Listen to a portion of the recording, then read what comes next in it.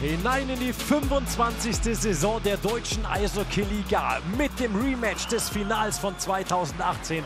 Eisbären Berlin gegen den deutschen Meister EHC Red Bull München. Auch das Duell der Trainer Clément Chaudron auf Seiten der Eisbären neu gegen Don Jackson, den Rekordtrainer der deutschen Eishockey-Liga. Hinein in die Partie. Die Eisbären in den blauen Trikots München in Weiß und Berlin startet richtig mit Dampf in diese Partie. Danny Fischbuch durch alle hindurch, aber nicht vorbei an Danny aus dem Birken. Starke Geschwindigkeit von Fischbuch, gutes Durchsetzungsvermögen und dann etwas Pech. Danny aus dem Birken, der gut zumacht. Die Anfangsminuten gingen an Berlin, aber der deutsche Meister lehnte sich keinesfalls zurück.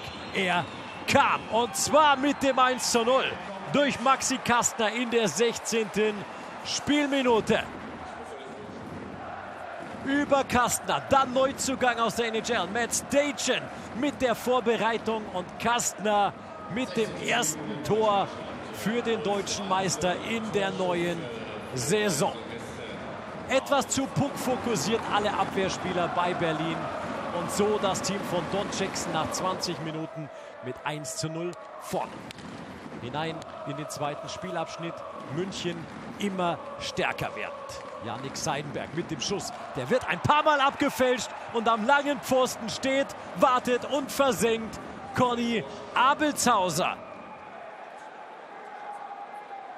Gut gesehen, aber dann kommt der Puck mit viel Glück und vielen Umwegen zu Abelshauser der in der 25. Minute mit dem 2 zu 0. Da konnte man schon denken, München marschiert. Dann aber der Auftritt von Danny Richmond und dessen Pass zu Thomas Oppenheimer, der Berlin zum ersten Mal auf die Anzeigetafel bringt. Wunderbar in der Offensive Verteidiger Richmond mit viel Übersicht und mit viel, viel Gefühl. Und plötzlich war Berlin da. Mit aggressivem Vorcheck. Beckman, Shepard dazwischen und dann Florian Kettemer mit dem Ausgleich für Berlin. Zuletzt dreimal mit München deutscher Meister. Im Sommer wollte er eigentlich seine Karriere beenden. Ja bis, ja bis Berlin kam und er trifft direkt für seinen neuen Club 2 zu 2. Der Stand nach 40 sehr unterhaltsamen Minuten. Der Schlussabschnitt.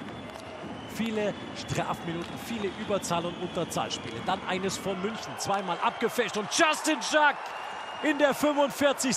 Minute mit der erneuten Führung für München. Die Top-Reihe, die neue Top-Reihe bei München. Mitchell auf Parks, der fälscht ab und dann ein so platzierter Schuss von Justin Schack. Unhaltbar für Maximilian Franzrepp. Dann erneut Konter München. Trevor Parks ist weg. Pfosten, dann wird es unübersichtlich. Kastner jubelt, Tor verschoben. Was war los? Die Refs sagen, Videobeweis war der Puck über der Torlinie. Und wann war das Tor verschoben? Das, das Delikt, das hier noch einmal angeschaut wurde. Am Ende stand die Entscheidung Penalty für München. Und den nahm Conny Abelshauser und der versteckte den neben dem Schoner von Maximilian Franzrepp zum 4 zu 2. Was für ein Move, die Entscheidung. Ja, Wahnsinn. Ich habe auch nicht gewusst, dass ich das kann, aber das ist der einzigste Trick, den ich habe. Und nur kennt ihn keiner, deswegen ist gut so oft schieße in den Penalty, deswegen hat es jetzt gut funktioniert.